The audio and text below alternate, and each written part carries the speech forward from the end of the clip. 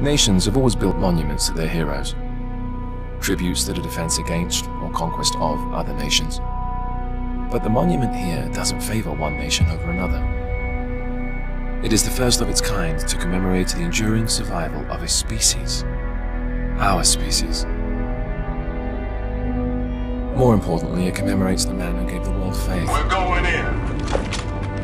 Get tactical, Marines! Who gave humanity a future. Who made mankind believe again. You seek. 117. He was indeed my enemy. They armored us with us! But in time, were it so easy, I named him ally. Even friend. Betrayed one villain for another. We knew Master Chief was still in the fight. He gave us hope. We're not leaving him here. Afraid we're gonna have to give you an IOU on that welcome home party. Tom Lasky, first officer of the Infinity. Never thought I'd see you again.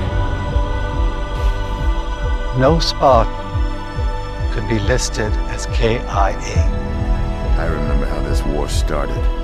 What your kind did to mine. I can't forgive you.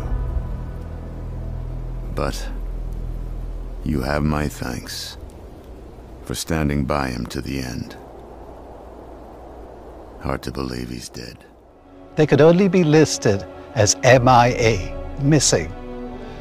So it could be said, that no Spartan was ever killed in combat. So the ceremony was tribute more than a burial. Doesn't look like much.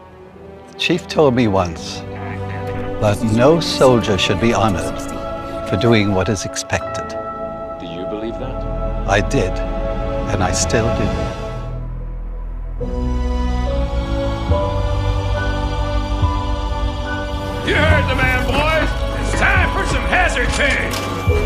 He's hot! Blowing the pins in five!